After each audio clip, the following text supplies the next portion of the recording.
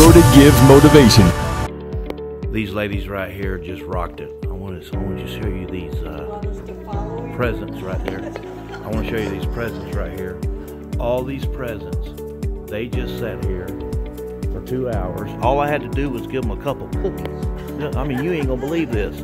They just sat here for two hours, and they wrapped all those gifts uh, from the Bradenton Women's Club to help us with our Christmas groceries and gifts.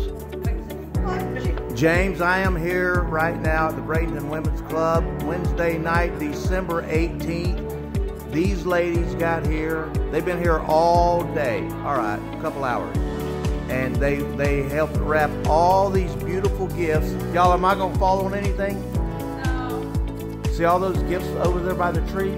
These ladies, thank God, love them. They helped. Uh, no, they didn't help. They did it. They wrapped all of these gifts for the single moms that we're going to give groceries and gifts to this Christmas. And we're so grateful. Y'all want to say anything? Merry Christmas. Anything else? Happy New Year. How do y'all like my, uh, I brought you jacket. how do you like my, uh, Get your finger out of there. boy, let me get my finger out of the way. How, how, how do you like my jacket? Love your jacket.